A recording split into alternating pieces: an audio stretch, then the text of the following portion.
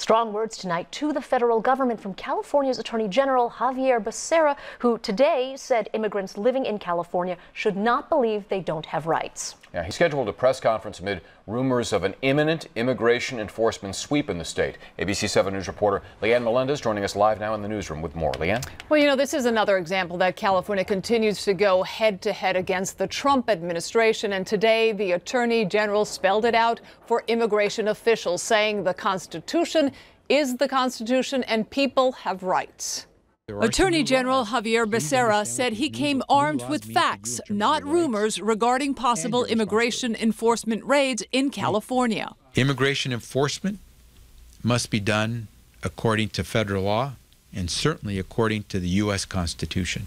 Becerra reminded people that California now has two new laws in effect this year when it comes to federal immigration enforcement. Senate Bill 54 enforces non cooperation policies between California law enforcement agencies and federal immigration authorities. And Assembly Bill 450, which says immigration officials are not allowed access to a private area of a worksite or access to employee records without a warrant. And there's more. AB 450 tries to make sure that as an employer, you are not sharing information that is not readily available to the public. Anyone who violates the new law faces fines of up to $10,000. The recent 7 Eleven ICE raids across the country worry undocumented immigrants here.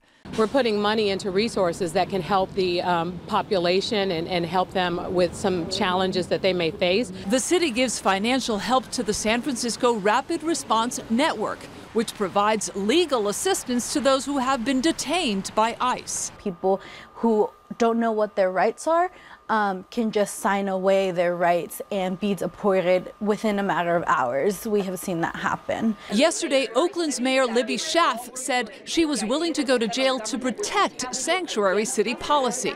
Today, San Francisco's acting mayor echoed that sentiment. I wouldn't mind basically going to jail for the first time in my life over. Now, according to ICE, the number of undocumented immigrants has gone up 42% since President Trump took office. Those are arrests not deportations. And we have to make it very clear that the number of deportations under Mr. Trump is well below what we saw under the Obama administration. In the newsroom, Leanne Melendez, ABC 7 News.